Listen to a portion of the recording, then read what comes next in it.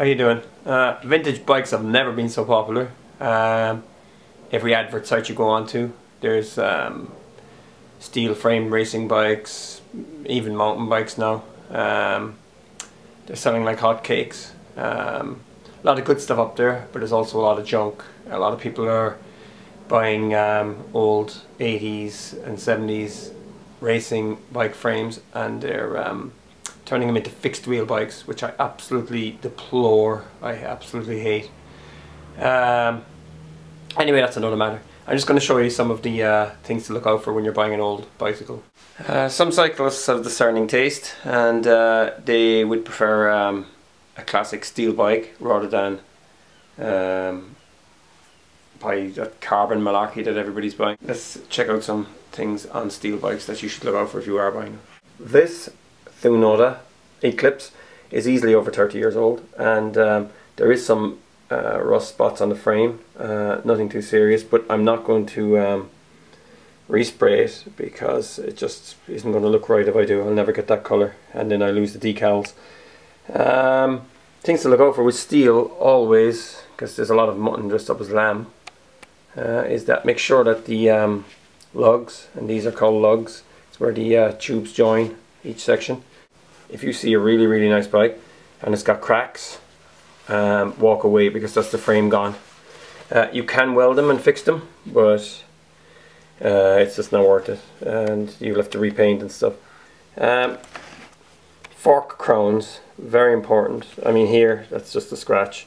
But if you see any cracks on the fork crown walk away uh, unless you have a spare fork but it's unlikely you get the same one for the old model you're looking at. Dropouts um, these are very very important. Uh, these attach the wheel to the uh, fork. Any splits or cracks here walk away. You just don't want it here we see the rear dropouts. Uh, like I said again any splits or cracks um, walk because um, if these come apart when you're traveling down a hill you could uh, be injured or killed. Bottom bracket. Okay make sure there's no bad play in it but even things like that can be adjusted uh, but one thing to remember if a bike has been cycled for 20 years with a bad bottom bracket well then you could have a lot of uneven wear on the axle it may not be possible to get the exact axle um, things like um, derailleur these can be changed uh, I mean I bought this Suntour Honor because I wanted to have a bike with a Suntour Honor on it and I stuck it on here that was like really cheap uh, so you could pick them up quite easily. So things like that I wouldn't really worry about too much. Chains, um, gears, you're probably going to have to change them anyway unless they've been changed already. Uh, cranks, make sure they're intact, no splits or cracks. Make sure that the um, pedals screw on and off because you might want to change them. If you can't screw a pedal on and off and if the threads are gone, well then you can't. You can only use one set of pedals and that's really limiting. Brakes, uh, again these can be replaced. Um, these are Weinmann brakes. Uh, they're quite still very easy to get.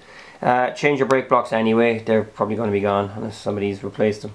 Brake levers, still easy enough to get them, uh, especially the old Weinmanns are cheap.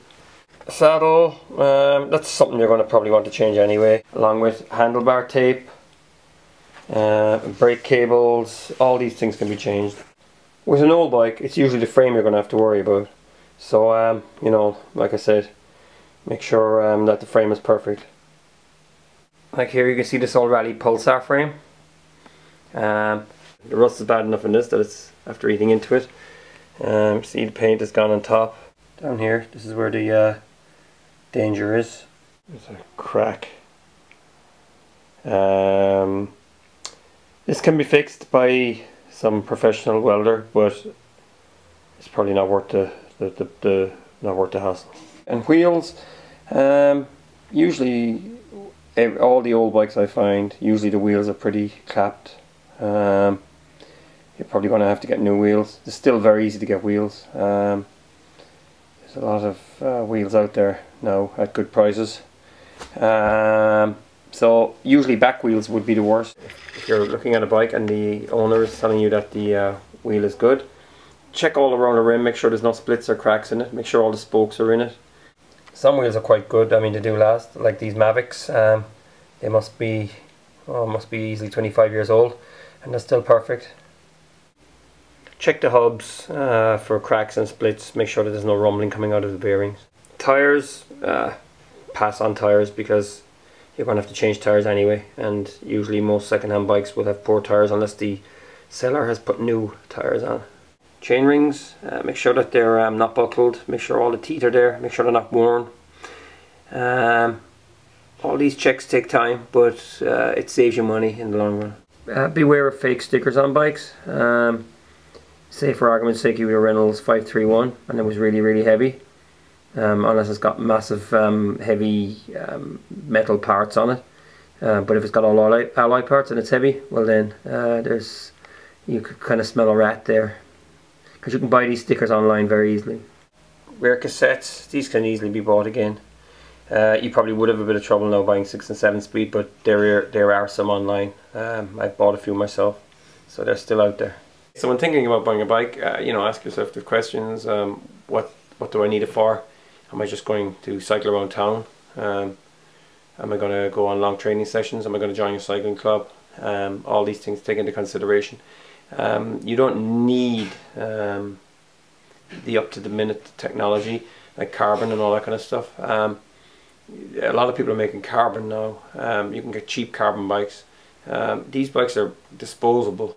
Whereas on the other hand, a steel bike is a lot more you know, uh, fixer friendly. You can do a lot with it.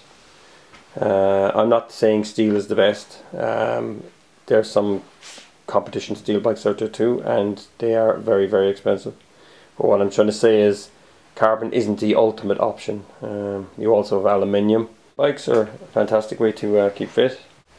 It's great exercise. It's a great way to get out on a summer's day.